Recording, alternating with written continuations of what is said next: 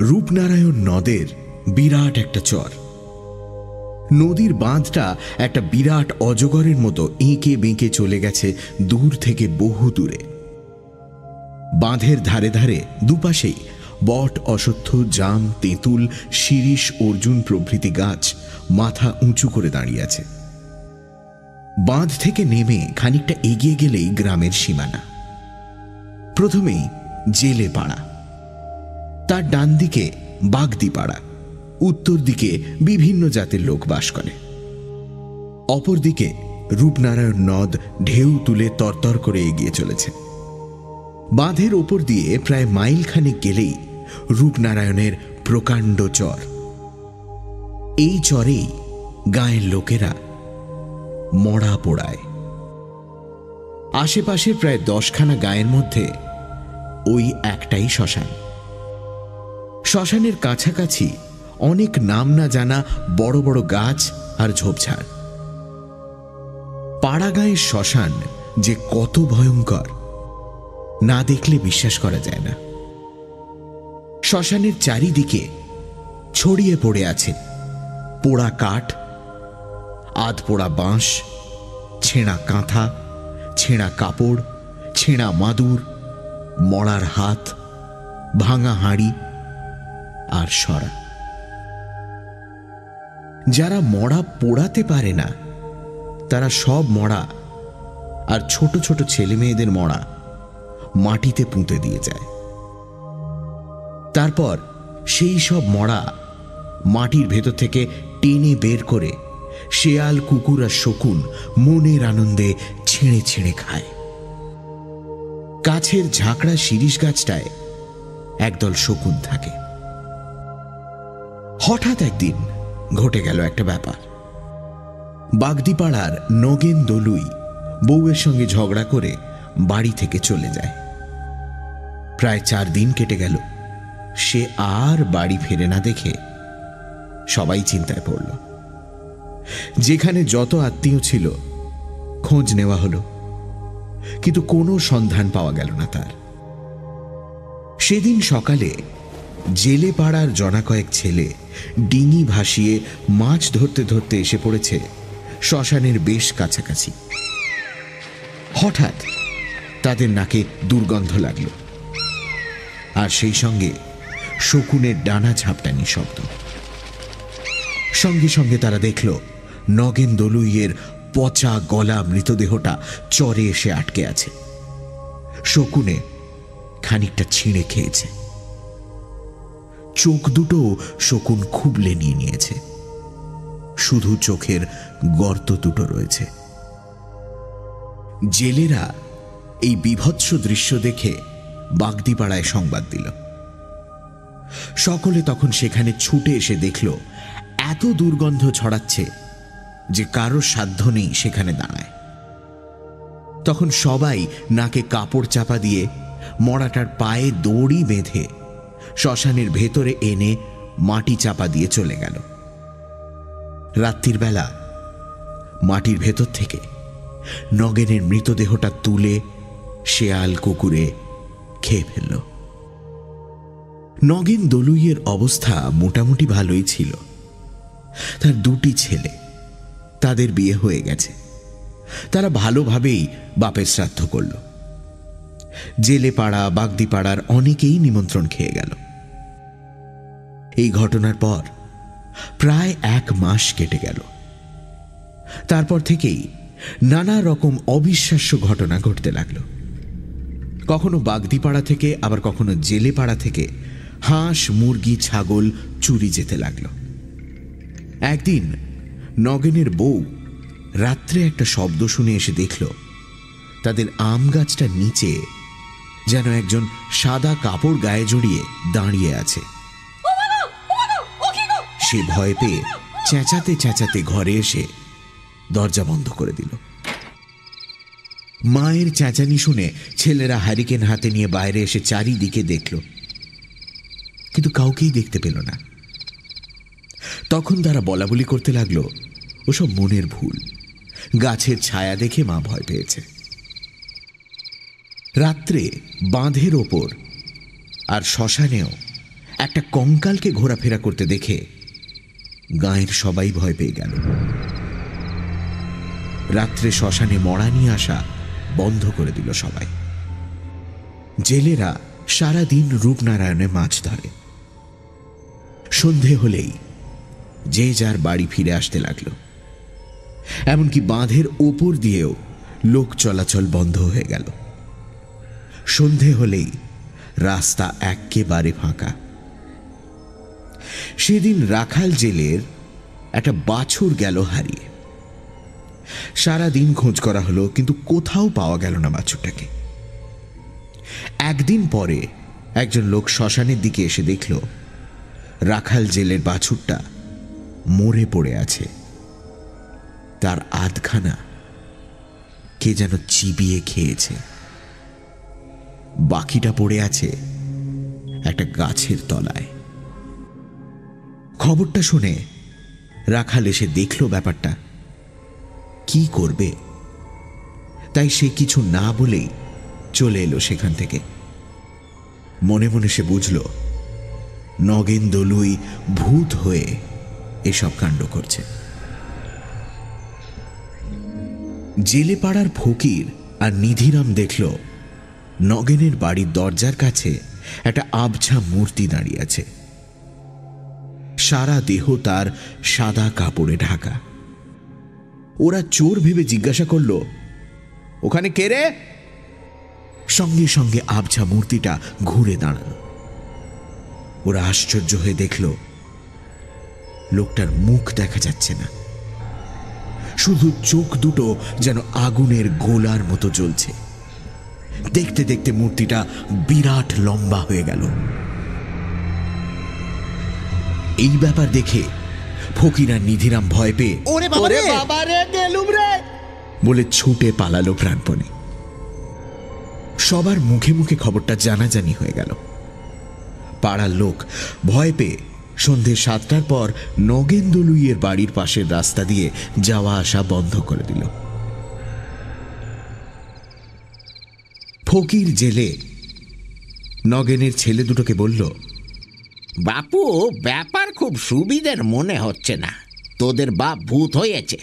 তোরা ছেলে পুলে নিয়ে থাকিস, একটা কিছু ব্যবস্থা কর। তা না হলে কোনোদিন তোদের বিপদ হতে পারে।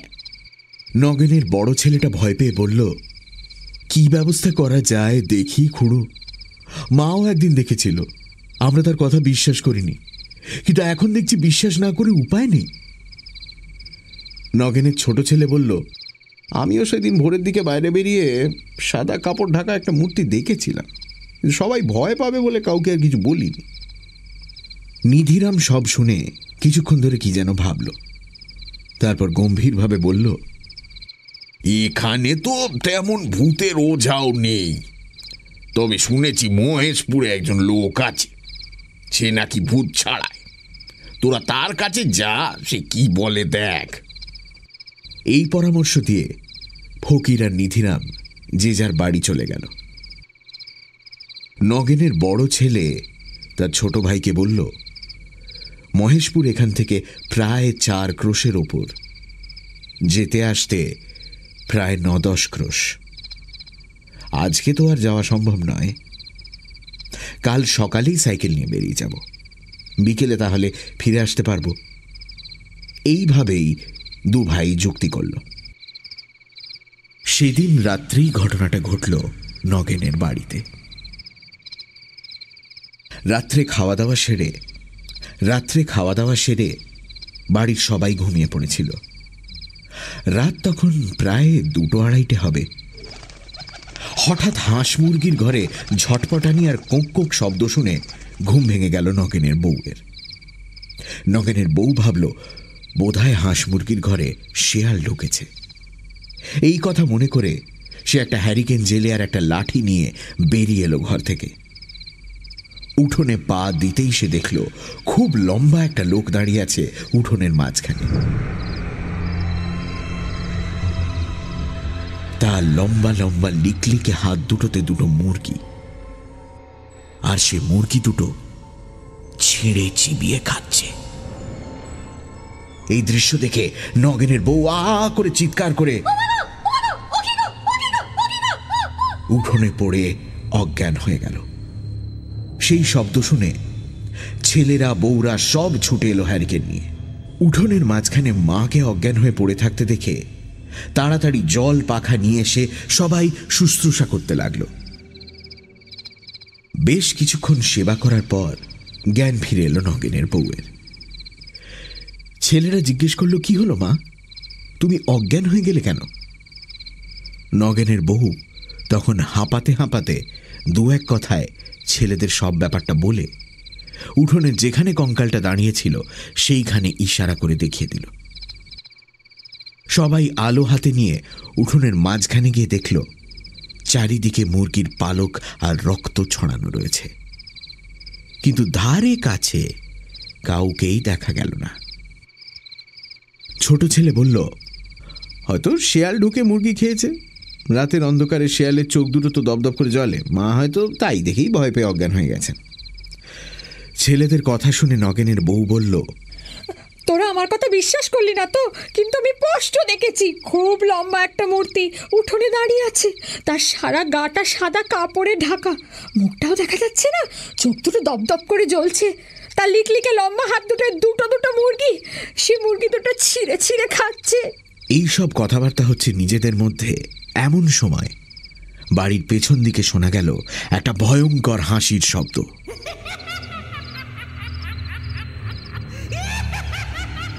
সেই হাসির শব্দ শুনলে বুক কেঁপে ওঠে। সেই শব্দ শুনে সবাই চমকে গেল। তারা বুঝতে পারল এটা একটা ভৌতিক কাণ্ড ছাড়া আর কিছুই হতে পারে না। ভয় পেয়ে সবাই ঘরে ঢুকে বসে রইল সকাল হওয়ার অপেক্ষায়। পরের দিন নগেনের বড় ছেলে সাইকেল নিয়ে চলে গেল। সেই প্রায় চার ক্রুশ দূরে মহেশপুরের ওঝার বাড়িতে। কিন্তু মুশকিল হল, ওঝা তখন অসুস্থ। নগেনের ছেলে একে একে সব কথা বলল তাকে। ওঝা সব কথা মন দিয়ে শুনে বলল দেখো বাবা আমার বয়স হয়েছে। তাছাড়া আজ এক সপ্তাহের ওপর আমি হাঁটতে পারছি না। একটু সুস্থ হলেই আমি গিয়ে সব ব্যবস্থা করে দেব। এখন বলো তোমাদের ঘরে মোট কতজন লোক? নগেনের ছেলে বলল সব শুদ্ধ আটজন। ওঝা বলল আমি তোমাকে আটটা মাদুলি দিচ্ছি। কালো সুতোয় বেঁধে হাতে বেঁধে রাখবে। আর ছেলেদের গলায় বেঁধে দেবে। আর এই চারটে পেরেক দিচ্ছি তোমাদের ভিটের চার কোণে পুঁতে দাও। তাহলে সে আর তোমাদের বাড়ির সীমানায় আসতে পারবে না। এই কথা বলে ওঝা আটটা মাদুলি আর চারটে বড় বড় পেরেক তার হাতে দিল। পেরেক আর মাদুলি নিয়ে নগেনের বড় ছেলে বিকেলের দিকে ফিরে এলো। তারপর ওঝার কথা মতো সকলকে মাদুলি পরানো হলো আর পেরেক পুঁতে দেওয়া হলো। সেদিন থেকে নগেন দলুইয়ের বাড়িতে ভূতের উপদ্রব কমে গেছে বটে। কিন্তু গ্রামে উপদ্রব বেড়ে গেল। গায়ের লোকের ঘর থেকে হাঁস, মুরগি আর ছাগল প্রায়ই চুরি যেতে লাগল। অন্ধকারে সেই ছায়ামূর্তিকেও দেখল অনেক লোক। তাছাড়া কারুর কারুর বাড়িতে গভীর রাতে ইট পড়তে লাগল দুমদাম করে। আবার কারোর বাড়িতে গরুর হাড়, মোষের হাড়, মানুষের হাড় পড়তে লাগল। আবার কারোর ঘরে চালে, মরা পোড়া কাঠ, বাঁশ পড়তে লাগল। সারা গায়ের লোক ভয়ে কাঠ হয়ে গেল। সন্ধে হতে না হতেই যে যার ঘরে ঢুকে দরজা বন্ধ করে বসে ভয়ে রাত কাটাতে লাগল। সন্ধ্যের পর এত বড় গ্রামটা যেন শ্মশানের মতো জনশূন্য মনে হয়। সেদিন রাত্রে অনেক দূর থেকে একদল লোক একটা মড়া নিয়ে শ্মশানে এলো পোড়াতে। লোকগুলো চিতা সাজিয়ে মড়াটাকে তার ওপর তুলে আগুন দিয়ে দিল। তারপর সব যাত্রীরা একটু দূরে বসে আপন মনে তামাক টানতে লাগল। এদিকে সেই অবসরে পাশের বটগাছ থেকে লম্বা হাত বাড়িয়ে নগের মড়াটাকে চিতা থেকে তুলে নিয়ে গাছের ওপর বসে চিবিয়ে চিবিয়ে খেতে লাগল। তামাক খেয়ে লোকগুলো চিতার কাছে এসে অবাক হয়ে গেল। শুধু চিতাটাই জ্বলছে মরার পাত্তা নেই। লোকগুলো রীতিমতো ভয় পেয়ে গেল। নদীতে তখন মালপত্র বোঝাই করা একটা বড় নৌকো বাঁধা ছিল। মাঝি বসে অপেক্ষা করছিল জোয়ারের আশায়। নৌকোর ছাদের ওপর হালের কাছে বসে মাঝি তামাক খাচ্ছিল। অনেক আগেই সে ব্যাপারটা লক্ষ্য করেছিল। কিন্তু শবদাহকারীরা পাছে ভয় পায় এই জন্য সে চুপ করে দেখে যাচ্ছিল। সব যাত্রীরা যখন ভয় পেয়ে বাঁচাও বাঁচাও বলে চেঁচাতে লাগল আর নৌকোর আলো দেখে সেদিকে ছুটে গেল। তখন নৌকোর মাঝি চেঁচিয়ে বলল, ভয় পেও না তোমরা। ওইখানে দাঁড়িয়ে থাকো, আমি যাচ্ছি। মাঝির কথা শুনে সব যাত্রীরা সেইখানেই দাঁড়িয়ে ভয়ে কাঁপতে লাগল। নৌকোর মাঝিটি ছিল একজন বেশ নামকরা ভূতের ওঝা। সে একটা পুঁটলি হাতে নিয়ে আর এক হাতে হুকো নিয়ে নৌকো থেকে নেমে এলো শ্মশানে। লোকগুলোকে তখন মাঝি তার কাছে বসিয়ে বিড়বিড় করে কিসব মন্ত্র বলতে বলতে লোকগুলো চারপাশে কি যেন সব ছড়িয়ে দিয়ে বসে হুকোয় দু একটা টান দিয়ে বলল কোনো ভয় নেই তোমাদের। ভূতের বাবারও সাধ্যি নেই যে আর তোমাদের কাছে আসে। আমি গণ্ডি দিয়ে দিয়েছি। যতক্ষণ তোমরা এই গণ্ডির মধ্যে থাকবে ততক্ষণ তোমাদের ভূত কোনো ক্ষতি করতে পারবে না। তারপর সকাল হলে বাড়ি চলে যাবে। দিনের বেলা ভূত লোকের কাছে আসে না। একজন জিজ্ঞেস করল মরাটা তাহলে কোথায় গেল? মাঝি বলল তাকে চিতা থেকে তুলে নিয়েছে। মাঝির কথা শুনে সবাই ভয় পেয়ে ফ্যাল ফ্যাল করে চেয়ে রইল। কারোর মুখে আর কথা নেই। মাঝি বলল হ্যাঁ তাকে তুলে নিয়েছে। ওদের মধ্যে একজন যুবক বলল আগুনের মধ্যে থেকে তুলে নিল কি করে? মাঝি বলল গাছের ওপর থেকে হাত বাড়িয়ে। মাঝির কথা শুনে যুবকটি যেন একটু অবজ্ঞার হাসি হাসল। তাই দেখে মাঝি বলল বিশ্বাস হচ্ছে না বুঝি। দেখতে চাও? যুবক বলল কই কই দেখান তো তাহলে বিশ্বাস করব। দেখো আবার অজ্ঞান হয়ে যাবে না তো? এখনও যখন হয়নি তখন আর হব না। বেশ তাহলে এসো আমার সঙ্গে। এই বলে মাঝি তাদের সঙ্গে নিয়ে বটগাছের ওপর ইশারা করে দেখিয়ে দিল। ওই দেখো সকলে দেখল বটগাছের মগডালের ওপর বসে একটা বিভৎস কঙ্কাল তাদের সেই মড়াটাকে চিবিয়ে খাচ্ছে। কি ভয়ঙ্কর দৃশ্য! ভয় পেয়ে সবাই চোখে হাত চাপা দিয়ে মাঝির কাছে সরে এলো। মাঝি বলল, এবার বিশ্বাস হলো তো? যাক, তোমাদের কোনো ভয় নেই। ও গাছ থেকে নেমে আসতেও পারবে না, আর কোথাও যেতেও পারবে না। আমি গাছটাকে গণ্ডি দিয়ে দিয়েছি। এই কথা বলে মাঝি হুকোটা সেখানে রেখে পুটলিটা হাতে নিয়ে উঠে দাঁড়িয়ে বলল, তোমরা এখন চুপচাপ বসে থাকো। মাঝিকে চলে যেতে দেখে লোকগুলো ভয় পেয়ে কাতরভাবে বলল, আপনি আমাদের এভাবে ফেলে চলে যাবেন না। সকাল হলে তারপর যাবেন। দয়া করে সকাল না হওয়া পর্যন্ত আমাদের জন্য অপেক্ষা করুন আপনি। মাঝি হেসে বলল, ভয় নেই, আপনারা এখানেই বসুন, আমি ওর পরিচয় নিয়ে আসছি। মাঝি চলে গেল বটগাছের দিকে। লোকগুলো ভয়ে কাঠ হয়ে বসে রইল। স্পষ্ট শোনা যেতে লাগল মাঝি বলছে তুই কে?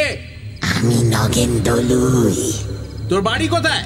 বাঁধের ওপারে বাগদি পাড়ায় বাড়িতে তোর কে আছে? আমার বউ দুটো ছেলে তাদের বউ নাতি নাতনি।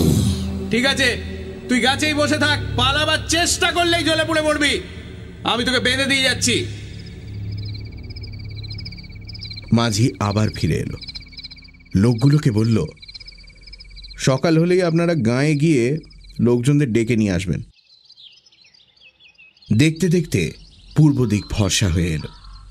গাছে গাছে পাখি ডেকে উঠল। একটু পরে সকাল হলো। দুজন লোক গাঁয়ে গিয়ে এই সংবাদ দিল। গ্রাম থেকে বহু লোক এলো দেখতে। নগেন দলুইয়ের ছেলে দুটোও এলো। সবাই এলো বট গাছের নিচে।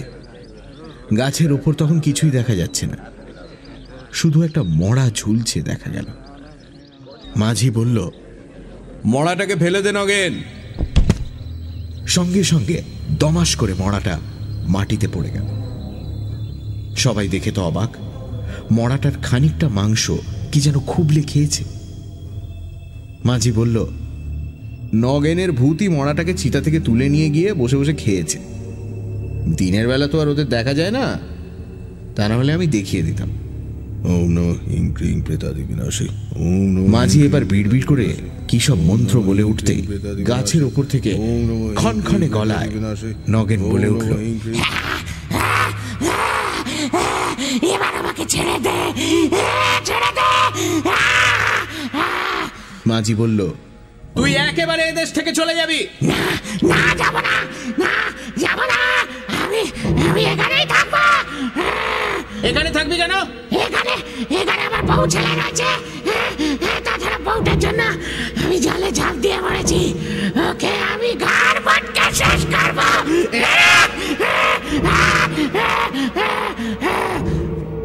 এই কথা শুনে নগেনের ছেলেরা ভয় পেয়ে মাঝিকে বলল দয়া করে আপনি আমাদের রক্ষা করুন। মাঝি বলল তোমাদের বাবা ভূত হয়ে কষ্ট পাচ্ছে। শুধু শুধু ওকে কষ্ট দিয়ে লাভ কি? নগেনের বড় ছেলেকে মাঝি বলল তুমি গয়ায় গিয়ে ওর নামে পিণ্ডি দাও তাহলেই তোমার বাবা প্রেতজনী থেকে উদ্ধার পাবে। তখন গাঁয়ের একজন বয়স্ক লোক বলল এখন ওরা কি করবে? যদি আজ রাতেই কারোর গাড় মোটকে দেয় বা গ্রামবাসীদের ক্ষতি করে? মাঝি বলল তা পারবে না। আমি গাছের চারদিকে গন্ডি দিয়ে যাচ্ছি। ও গাছ থেকে কোথাও যেতে পারবে না। সাত দিন ওই গাছে ও বন্দি হয়ে থাকবে। তার মধ্যেই পিণ্ডি দেওয়া না হলে ও আবার গ্রামে গিয়ে উপদ্রব করবে। নগেনের ছেলে বলল আমি আজই রওনা হয়ে যাচ্ছি। মাঝি বলল তুই উদ্ধার হলে কি চিহ্ন রেখে যাবি? এবার কিন্তু কোনো উত্তর এলো না। গাছের ওপর থেকে খোনা গলায় চেঁচিয়ে উঠল নগেনের ভূতটা।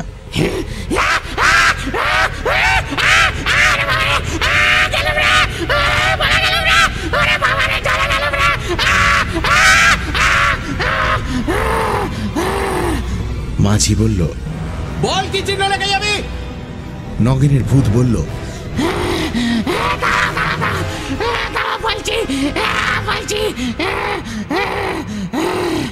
এই বলে একটু থেমে তারপর বলল এই গাছের একটা মোটা ডাল ভেঙে দিয়ে যাব।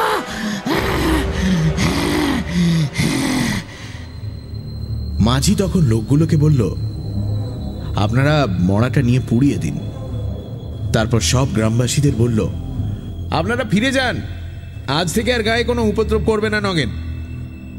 এই কথা বলে মাঝি ফিরে গেল নৌকায়।